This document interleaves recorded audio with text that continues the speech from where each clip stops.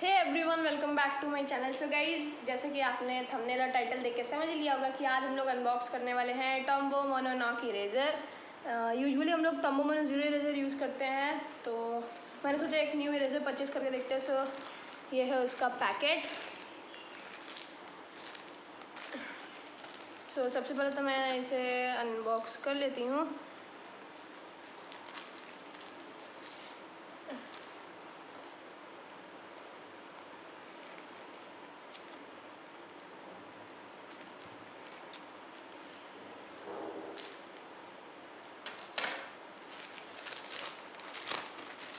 तो ये मैंने इसे अब खोल लिया है।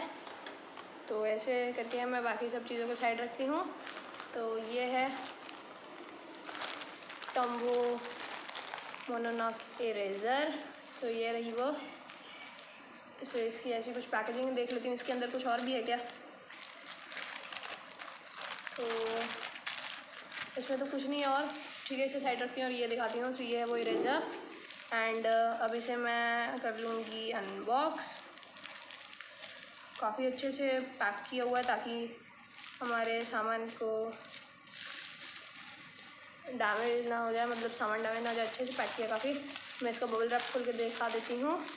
सो गाइस ये रही वो इरेज़र सो ये साथ में मैंने रिफल्स भी ऑर्डर की थी। और और ये मैंने फ़्लिपकार्ट से बाई किया है। इसका परचेसिंग मैंने नीचे डिस्क्रिप्शन में दे दिया है। आप वहाँ से जाके देख लेना। सो अभी से फटाफट से खोल लेते हैं।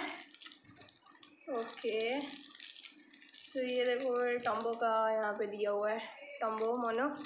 Tombow mono guys ये काफ़ी अच्छी कंपनी है। अगर आप यूज़ करते हो उसके प्रोडक्ट तो आपको पता है कि ये कंपनी काफ़ी अच्छी है। तो मैं निकाल लेती हूँ इसकी रिफल्स एंड ये रही हमारी इरेज़र तो गाइज़ यूजली जो मैं टम्बो मोनो यूज़ करती हूँ, वो two point eight M M की है। और ये है three point eight M M की। तो ऐसे करके ये कुछ इरेज़र है। ये देखो ऐसे करके है कुछ। तो ये उसकी रिफल्स भी हैं। तो ये मुझे शायद कुछ टू नाइन्टी फाइव की पड़ी थी विथ रिफल्स तो अब मैं ट्राई करती हूँ कि ये कितनी अच्छे से इरेज कर पाती हैं। सो so, फर्स्टली तो मैं ले रही हूँ eight B and ten B तो ये कैमलिन की है मेरे पास ग्राफाइट में। स्टेडलर की मेरे पास एट बी और टेन बी नहीं है, इसलिए मैंने कैमलिन की ली है। और मैं ले रही हूँ स्टेडलर की सिक्स बी सो मैं देखूँगी क्या ये अच्छे से रब कर पाता है या नहीं।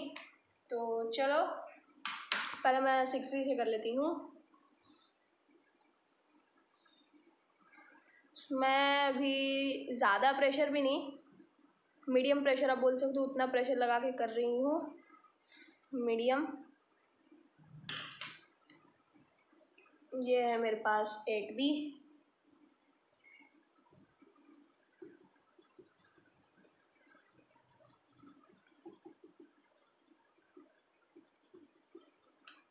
and this is 10b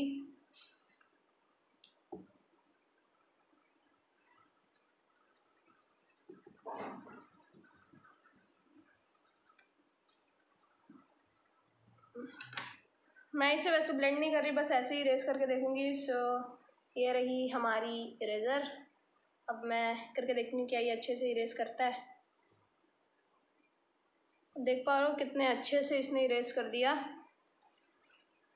मुझे ज़्यादा प्रेशर लगाने की ज़रूरत नहीं पड़ रही, आराम से इरेज हो रहा है काफ़ी।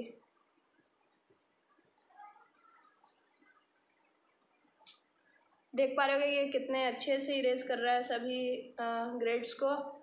इवन दो टेन बी को भी तो मैंने सोचा कि हम लोग चारकोल पेंसिल से भी ट्राई कर लेते हैं। वैसे चारकोल काफ़ी कम ही रेजर इरेज करती हैं। ये तीनों ग्रेड यूज़ करते हैं। मैं पहले लूँगी हार्ड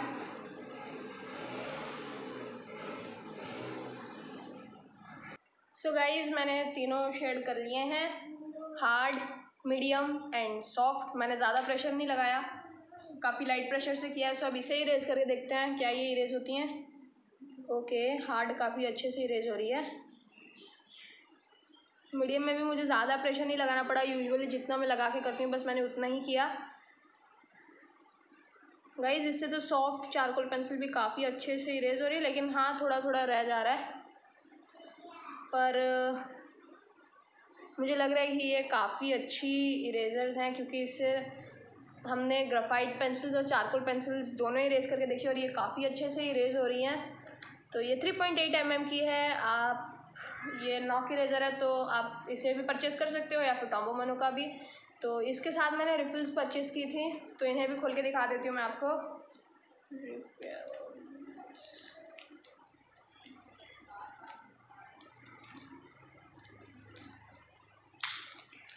सो ये मैंने रिफ़िल्स भी खोल ली हैं। तो ऐसे करके एक रिफ़िल होती है। मैंने एक ही निकाला। बाकी इसके अंदर शायद चार हैं। तो यस गाइज़ मुझे लगता है कि आपको ये पेंसिल सॉरी ये इरेजर बाई करनी चाहिए क्योंकि इसकी क्वालिटी काफ़ी अच्छी है। आपने देखा ये कितने अच्छे से इरेज कर रही है। सो so, आप भी इसे बाय कर सकते हो और मैंने सभी चीज़ों का लिंक नीचे डिस्क्रिप्शन में दे रखा है आप वहाँ से जाके परचेस कर सकते हो।